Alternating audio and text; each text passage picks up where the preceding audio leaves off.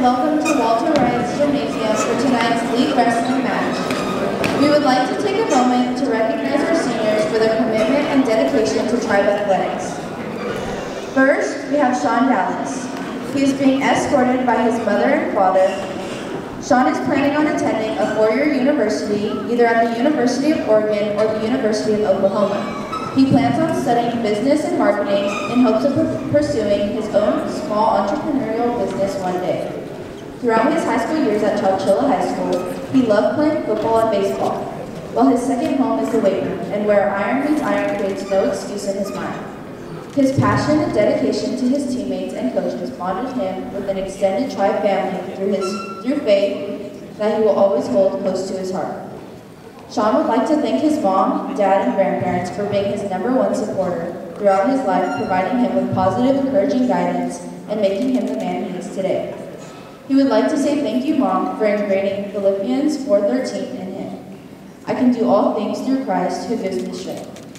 Sean would also like to acknowledge and give a huge thank you to Coach Adrian, Aaron, and Coach Collins for pushing him past his limits every day at practice and always made mental toughness which shaped him, which shaped the man he is today. Roll Tribe.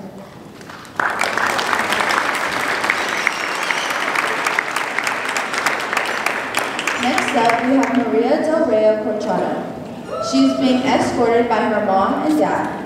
Maria is planning on applying as a pediatrician CNA, then going back to school to become a pediatrician RN. She would love to thank her coaches, Adrian, Aaron, and Collins, for having the patience and support to help all of them become better, better athletes.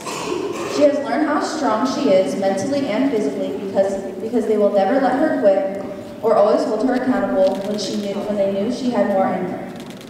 She would also love to thank Yaya for always supporting her and coming to as many matches as possible. It means the world to her. Finally, a huge thanks to her girls, Amanda and Leslie. Thank you for being amazing drilling, drilling partners and friends. Give it up for Maria.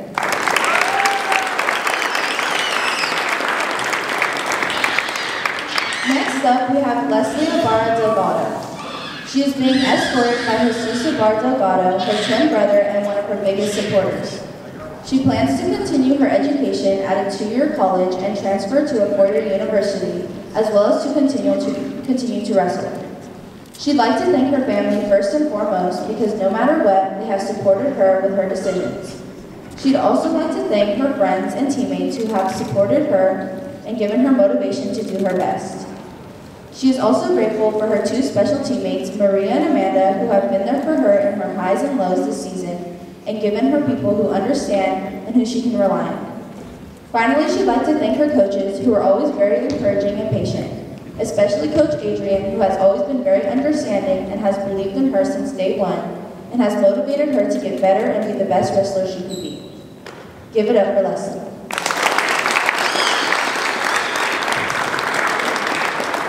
Lastly, we have Ashton Barber. He is being escorted by his mom and dad, after school, he will be joining the Marines. He would like to thank his coaches for keeping him motivated, as well as his mother and father for their unconditional support and guidance. Give it up for Ashton.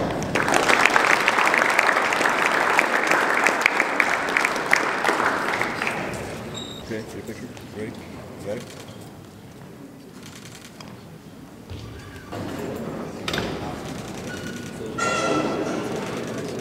Okay. Very cool. Thank you. Okay, let's give it up one more time for our seniors.